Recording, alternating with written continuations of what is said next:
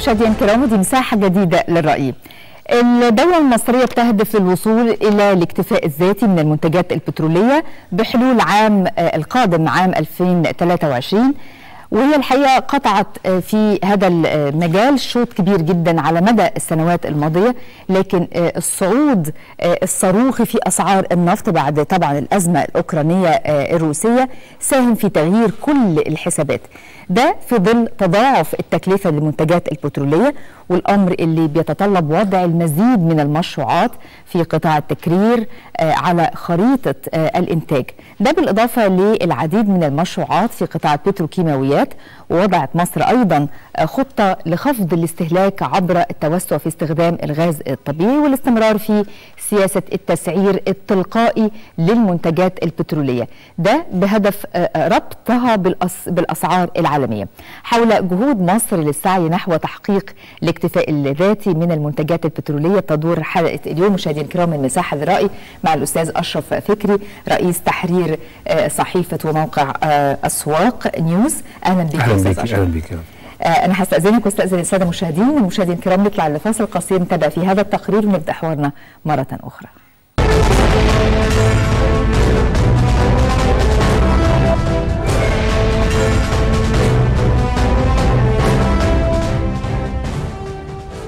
يعد قطاع البترول والغاز قطاعا قائدا للتنمية في كل الاتجاهات حيث يستهدف القطاع تحقيق الاكتفاء الذاتي من البنزين والسولار خلال عام 2023 وذلك من خلال خطة متكاملة تتضمن عددا من مشروعات التكرير العملاقة الجاري تنفيذها والتي من خلالها يتم تلبية كل احتياجات السوق المحلي من البنزين والسولار ذاتيا.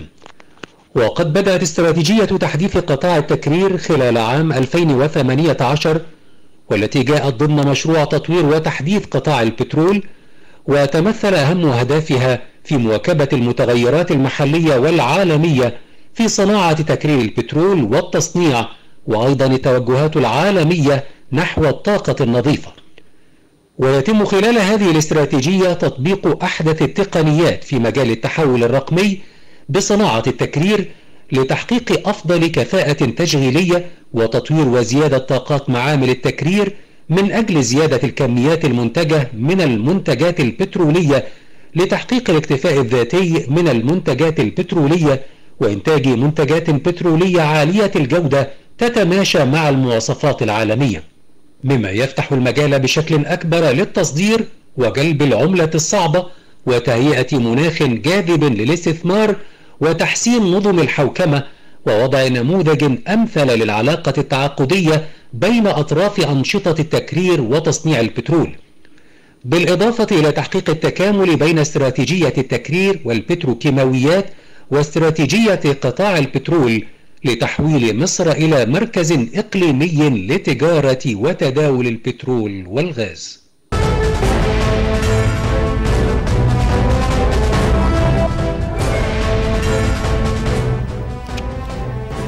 استمعنا مشاهدينا الكرام لهذا التقرير. نبدأ حوارنا الآن مع الأستاذ أشرف فكري رئيس تحرير صحيفة وموقع أسواق نيوز. أستاذ أشرف يعني في تسارع وخطى الدولة الوصول إلى الاكتفاء الذاتي من المنتجات البترولية في ظل كل المتغيرات العالمية. يعني بنشهد طبعا عندنا أزمة كبيرة الأزمة الروسية الأوكرانية وده بالتأكيد بيلقي بظلاله على جميع الأسواق العالمية. هو بلا شك الجهود الحثيثه لوزارة البترول والحكومة المصرية الفترة الماضية للتوفير أو يعني تقليل الاثار السلبية أو تداعيات الأزمة الحرب الأوكرانية الروسية آه إلى حد ما ملموسة في بعض في كثير من القطاعات وعلى راسها قطاع البترول. الفترة الماضية شهدت ارتفاع قياسي جدا في أسعار البترول، ارتفع سعر البرميل النفط إلى أكثر يعني من 91 دولار للبرميل إلى أكثر من 128 أو 130 أو 138 في مارس الماضي وده كان ليه انعكاس على الدول المستوردة للنفط أو البترول تحديدا ومن بينها مصر، إحنا لابد إن إحنا ندرك إن مصر مستورد صافي للبترول الخام.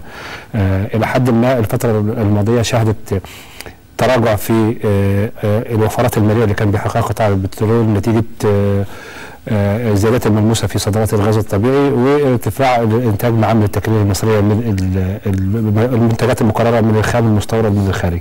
لكن الأزمة لحد ما أشار لها وزير البترول في اجتماعه الأسبوع ال- الحالي في لجنة الطاقة في مجلس النواب أو أعتقد مجلس الشيوخ وأكد من خلالها على أن السيناريوهات ال- المقبلة لا تبشر بنوع من أنواع التفاؤل فيما يتعلق باستمرارية آه، تحقيق قطاع البترول آه، وفر في آه، أو العجز أو ال- الفائض اللي بيحققه كل الفترة اللي فاتت لميزانيه الدولة.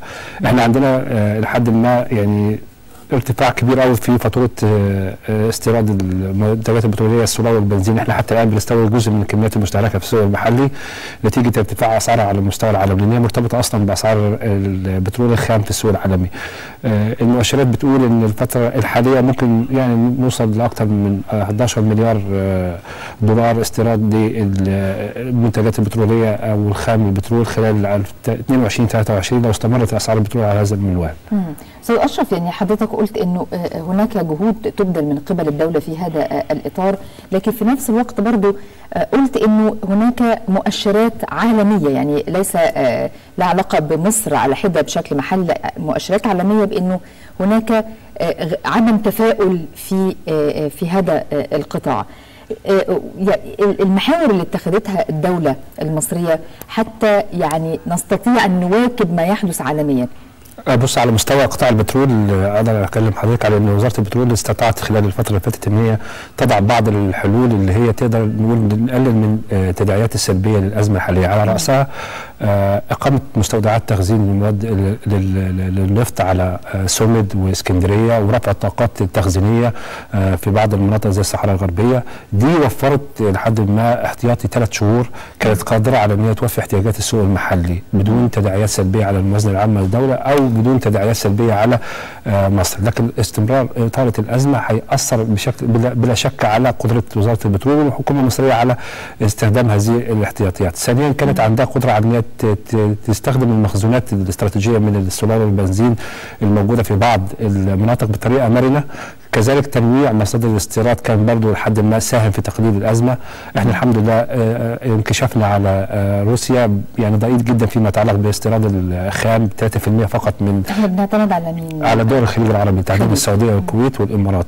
والعراق. والعراق أصلا كان مفترض فيه عقد مستمر المفترض يجدد في يناير الماضي لكن أو عقود أجلة يعني. عقود بتدي تسهيلات للحكومة المصرية في السداد. يعني لحد ست شهور أو سنة أو سنتين زي ما بيحصل في بعض ال- العقود زي مع الكويت والسعودية والإمارات. لكن الفترة الم- الف- الماضية لما شهدت ارتفاع قياسي في أسعار البترول العراق فضل إن هو يصدر الكميات المخصصه لمصر مقابل إن هو يعني يجدد التعاقد. وده مش ده من حقه طبيعيا. لكن إحنا لحد ما مكتفيين في فيما يتعلق باستيراد الخام لأن الخام دايما بتحصل عليه مصر بالسعر العالمي. هي الإشكالية في الارتفاع القياسي في أسعاره. أنت حضرتك كنت حاطة في الموازنه العامه للدولة 61 دولار للبرميل سواء المنتج محليا أو اللي بتستورديه. النهارده 128 و123 دولار للبرميل يعني في أكثر من 100% ارتفاع في قياسي في سعر البترول. ده بيأثر بشكل كبير قوي. يعني اي أي دولار بيرتفع في سعر الخام عن المستهدف في الموازنة العامة للدولة بيحمل الدولة 2.4 مليار جنيه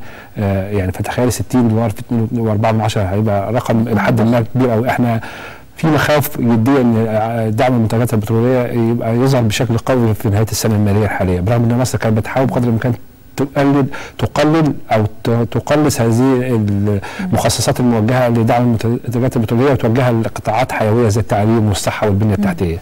أستاذ أشرف وزارة البترول آه، منذ فترة أعلنت إنه آه، هناك خطة لفكرة آه، زيادة مناطق البحث عن والاستكشافات البترولية في مصر. ده طبعا بيأثر جامد يعني إنه لو أنا عندي مصادري فأنا هيبقى عندي على الأقل نسبة كبيرة جدا من الاستيراد هتقل. مظبوط.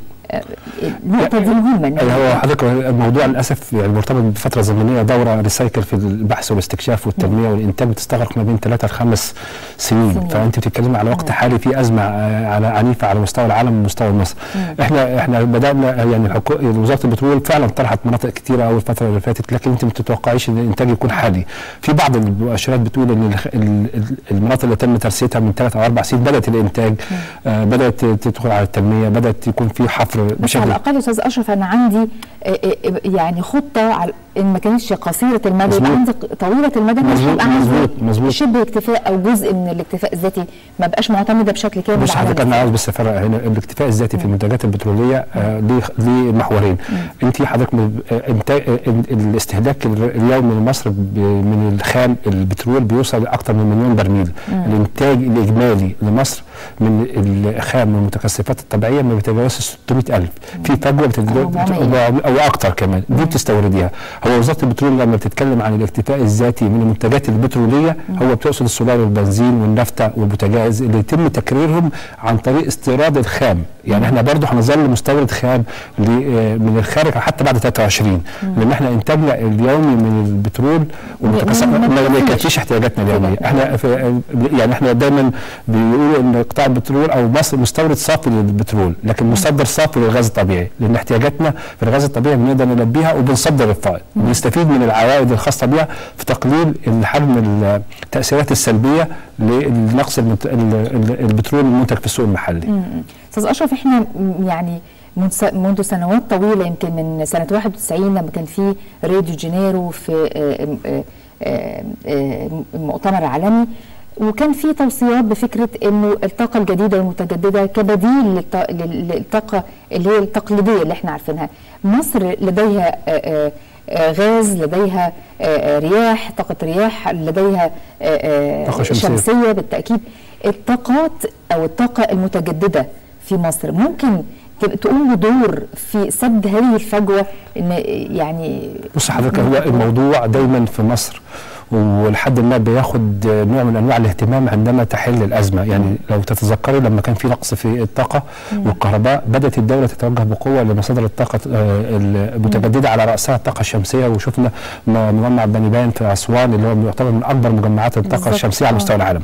هي المفترض إن إحنا لكن لما هديت أسعار البترول نتيجه أزمة كورونا ونتيجة ارتفاع انتاجنا من الغاز الطبيعي إلى حد ما الاهتمام قل. إحنا محتاجين مبادرات مستمرة ودائمة فيما يتعلق بإنتاج الطاقة من مصادر آآ آآ طبيعية أو طاقة متجدده زي الشمس وزي الرياح وزي آه يعني في مصادر كتير قوي إحنا عندنا أكتر من مجال نقدر نوفي جزء كبير قوي من الطاقة الكهربائية للسوق المحلي. في على رأسها مثلا قامت مجمعات ثانية زي الطاقه الشمسيه زي بني بان. الاسراع مثلا بإنشاء بإقامة مجمعات اللي هي انتاج الطاقه من الرياح في جبل الزيت. في أماكن كتير قوي إحنا لابد إن إحنا نضع استراتيجية قوميه هي موجودة لكن الزخم دايما بيبقى بيقل نتيجة توافر البدائل. عندما تختفي البدائل ويتم يكون البدائل مثلا مش على قدر المستوى من الدرجة الاقتصادية بنقل الاهتمام. لا إحنا لازم يكون عندنا مشروع قومي للاهتمام بهذه البدائل. أنا هستأذنك أستاذ أشرف واستاذن السادة المشاهدين. نطلع مشاهدينا الكرام نتابع هذا التقرير في ملخص لما جاء في الصحف اليوم حول هذا الموضوع. نبدأ جولتنا الصحفية من المصري اليوم. المهندس طارق الملا وزير البترول يقول إن العالم يواجه تحديات في ظل الأزمة العالمية وقطاع البترول يجهز نفسه للتعامل مع هذه الأزمة العالمية. وهناك ثقة في هذا القطاع لتجاوز التحديات الكبيرة وأن نكون على مستوى التوقعات وتأمين قطاع الطاقة وتحقيق الاستدامة المالية. في أخبار اليوم تميم عزمي يؤكد على إشادة المؤسسات الدولية المختلفة بإنجازات مصر في مجال الطاقة مشيرا إلى تأكيد منظمة أوبك أن مصر تخطو خطوات سريعة لتصبح مركزا إقليميا للطاقة ولاعبا عالميا في صناعة الطاقة وذلك بفضل الاكتشافات الضخمة والتطوير المستمر لموارد الطاقة.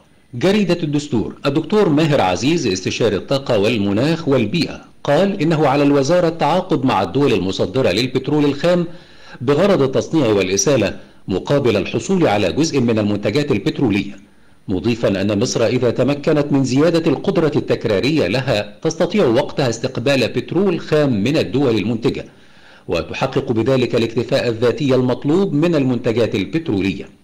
اليوم السابع مروى الغول أشارت إلى نجاح مصر خلال أربع سنوات فقط في التحول من دولة مستوردة للغاز الطبيعي إلى دولة مصدرة وذلك بفضل استراتيجية العمل الطموحة لقطاع البترول والغاز من خلال تكثيف أعمال البحث والاستكشاف وسرعة تنمية الاكتشافات الجديدة ووضعها على خريطة الإنتاج وجذب الاستثمارات الأجنبية للبحث والاستكشاف والتنقيب.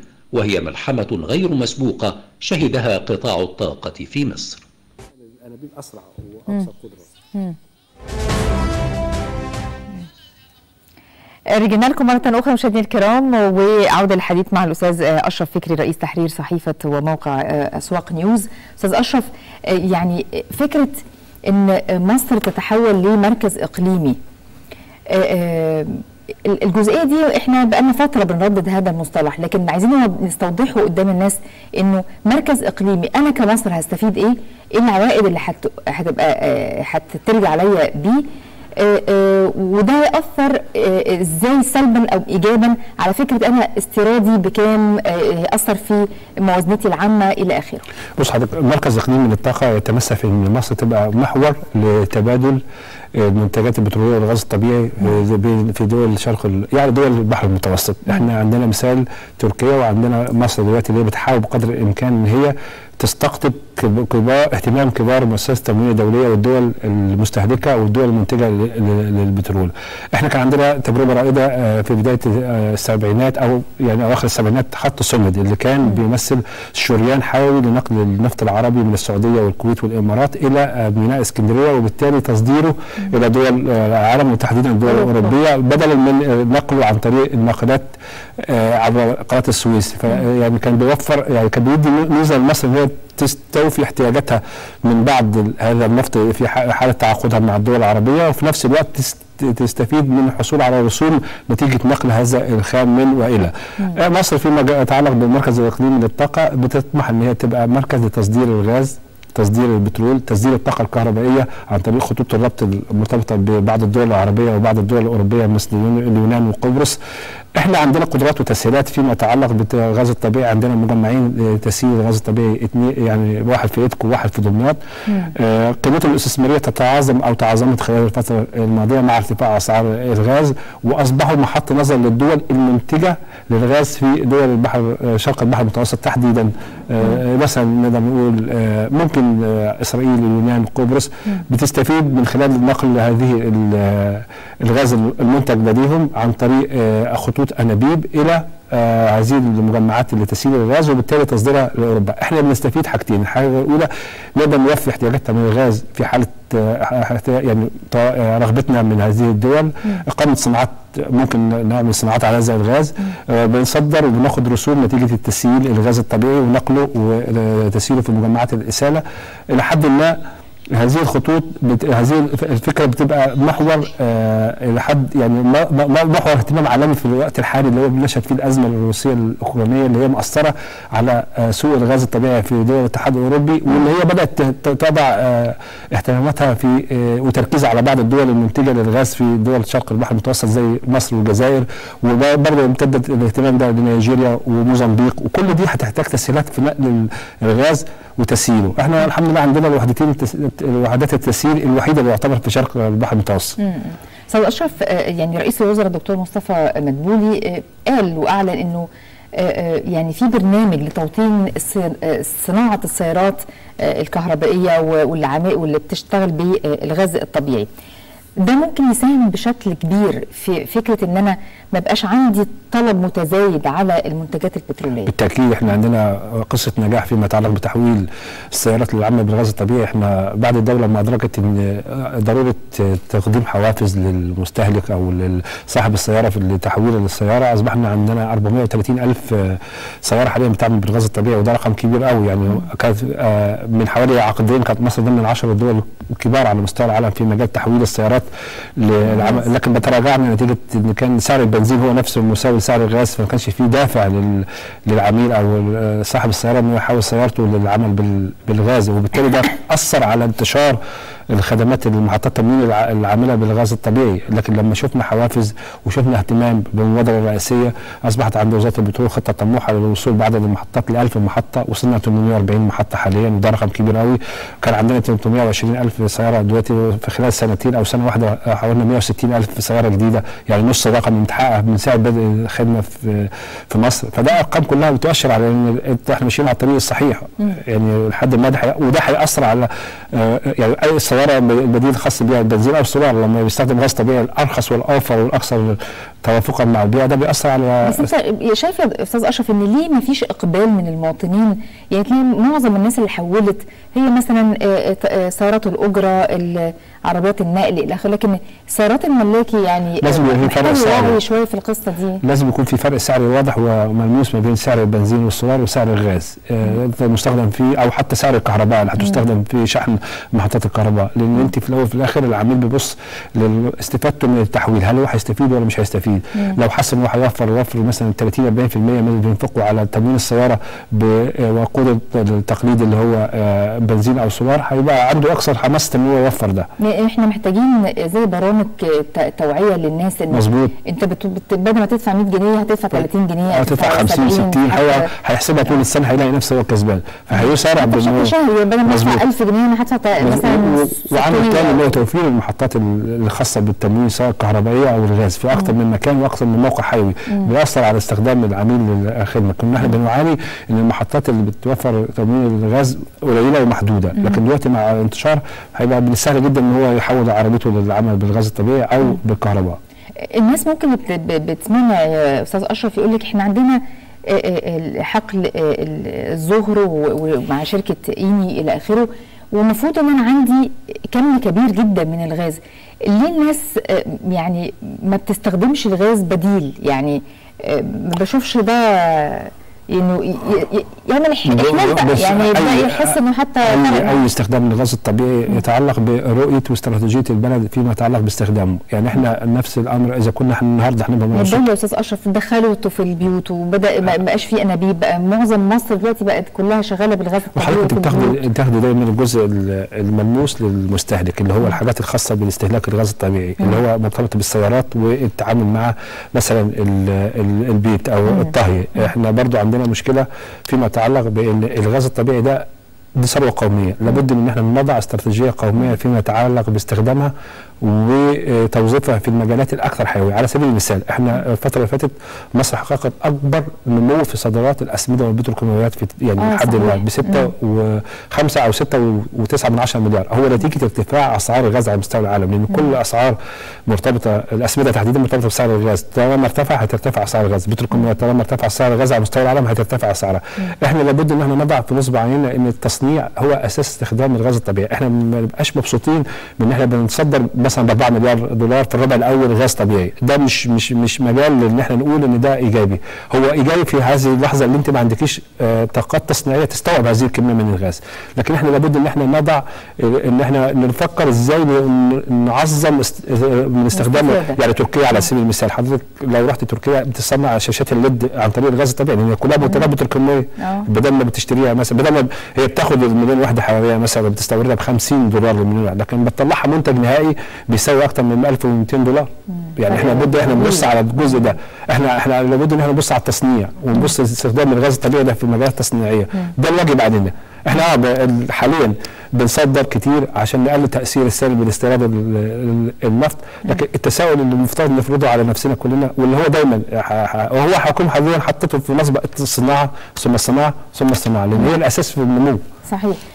يعني آه، على ذكر قطاع البتروكيماويات يعني تأثير ما قطعته مصر في هذا آه، القطاع من إنجاز وحققت فعلا خطوات واسعة و- وكيف يمكن أن نستغل هذا التطور ال- الملحوظ والشوط الكبير يتاخذ في هذا المجال قطاع البتروكيماويات هو الفترة اللي فاتت فعلا شهدت خطوات ملموسة لتعظيم المشاريع أو زيادة المشاريع المنتجات البتروكيماويات لكن لابد إن إحنا نحط رؤية أوضح وأفضل لأن إحنا حتى الآن في بعض الصناعات بتحتاج مواد خام. لو بصيتي على قائمة الواردات لينا الخاصة بها السنوية هتلاقي في واردات كتير قوي ممكن آه، إحلالها بتصنيع محلي على سبيل وخاصة بالبتروكيماويات يعني على سبيل المثال أنت حضرتك كنت قريتي خبر اللي هو إحنا مصر بتستورد ب 100 مليون دولار أسا... اللي هي أساتذة بتاعت ال- اللي هي بتتحط في الرزق بتاعت. طب دي ممكن يتم هو انتاجها بس- فلوس أنا أجيب لكم الأساتذة. أنا بقول لحضرتك يعني إحنا محتاجين حاجات نبص على نبص على قائمة الواردات ونشوف الواردات اللي ممكن تصلحها في السوق المحلي ونبص على. اللي هي ممكن شركات ال- بس أنا بتهيألي أستاذ أشرف إن في خطة طموحة للدولة في الإطار ده. الوقت. فكرة التصنيع. ال- الوقت. هو الوقت العام حضرتك الأزمة الأوكرانية لو كانت جت وإحنا كنا سابقين في الموضوع ده. كورونا بقى لنا سنتين.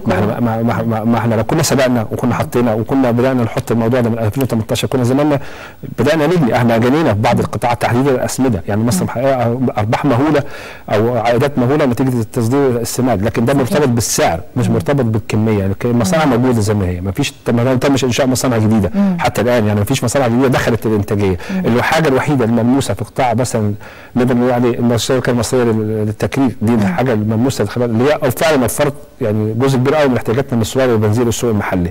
لكن إحنا في حاجة ان إحنا نبص لقدام شوية يبقى طموحنا أكبر من كده. طبعا ذكر مشروعات التكرير يعني قراءتك إيه لاستراتيجيه الدولة في هذا المجال في تنفيذ مشروعات آه، التكرير والالتزام الدقيق بالبرامج الزمنية لهذه المشروعات لا لا على مستوى معامل التكرير هناك طفرة ملموسة في تحديث وتطوير معامل التكرير. على سبيل المثال يعني الفترة اللي فاتت إحنا شايفين أكثر من أربع أو خمس مشروعات تكرير ضخمة بدأت بافتتاح الشركة المصرية للتكرير اللي في المستورد حي- هيتم افتتاح آه، شكل بشكل نهائي معمل تكرير توسعات معمل ميدور في 2023 عندنا معمل أسيوط التوسعات بتاعته اللي هو إنتاج السولار الحمد لله بدأت العمل. عندنا معمل أنوبك اللي هو أكبر مجمع لإنتاج البنزين عالي الأوكتين في الصعيد اللي هيوفي احتياجات الصعيد كلها من البنزين بمختلف أبعاد بدل النقل وبدل الأنابيب. عندنا تطوير معامل السويس ومعامل النصر عندنا يعني عندنا فعلا وعندنا كان المجمع إنتاج البنزين والسولار في شركة آه، إنربك في اسكندرية اللي افتتحه الرئيس. يعني عندنا مشروعات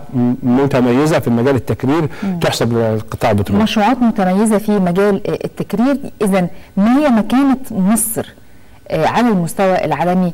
في آه، آه، يعني بعد كل هذه المشروعات الخاصة بالتكرير إحنا بن- العالم بيشوفنا إزاي؟ إحنا بنشوف إن إحنا بنحاول قدر الإمكان نتحول من مستورد للمنتجات البتروليه زي ما حضرتك قلتي في 23 سولار وبنزين ونفطه و آه، يعني إلى مدو- إلى دولة منتجه لهذه. ده هيأثر على السوق العالمي ان انت مصر كانت دايما بتطلب كميات كبيرة من هذه المنتجات.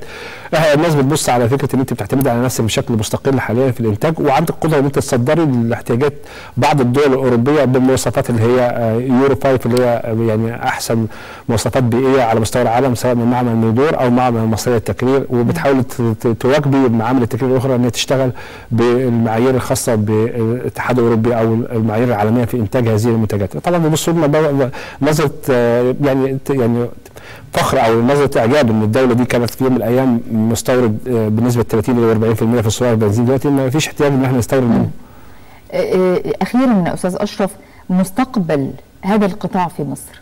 لا طبعا قطاع البترول من القطاعات الواعدة والقطاعات المتميزة في الأداء لأن هو بيعتمد على آه، يعني تعاملات آه، منظمة ودقيقة من- من- منذ عقود يعني. فيما يتعلق بالشركاء الأجانب فيما يتعلق بالإدارة القائمة عليه فيما يتعلق بالتعامل مع المشاكل فيما يتعلق بالتعامل بالتحديات. الناس عاملين شغل ممتاز جدا يعني في الفترة الماضية. يحسب لهم بقيادة وزير البترول طارق والمجموعة اللي موجودة لحد ما من الموجودين في هيئة البترول أو حتى في رؤساء كل أبناء القطاع البترول بيعملوا بش يعني بيعملوا بشكل إلى حد ما في إدراك للتحديات اللي بتواجه البلد.